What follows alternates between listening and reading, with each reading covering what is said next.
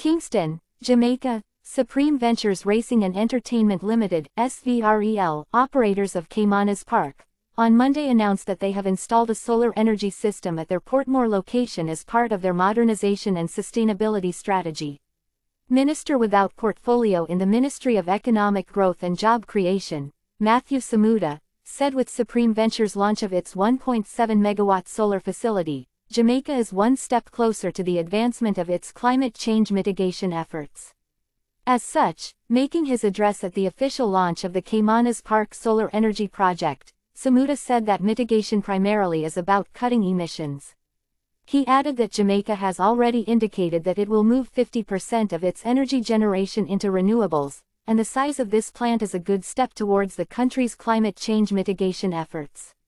In addition to reducing the carbon footprint of the track operations, this investment will allow SVREL to redirect resources to improve other aspects of the park and the horse racing industry in general, which provides employment to hundreds of Jamaicans.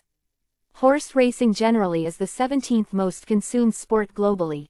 One thing we are sure of is that no economic activity will thrive without making the changes it needs to green itself, he said.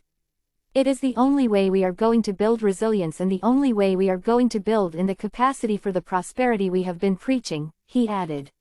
Samuda also noted that he is encouraged by Supreme Ventures' step to reduce its carbon footprint and welcomed additional private sector partnerships in the fight against climate change. This is a major step, now that step can't be only done by government, it will take private sector investment, it will take private sector partnerships with the government to ensure that we put in place the amount of renewable that is required, he said. As well as how we go about changing our national fleet, both publicly owned and privately owned to electric vehicles, he added. Samuda indicated that electric vehicles have a clear advantage as there is a 60% savings on fuel usage weekly, with or without the use of renewables. He encouraged operators to consider moving in this direction with the government.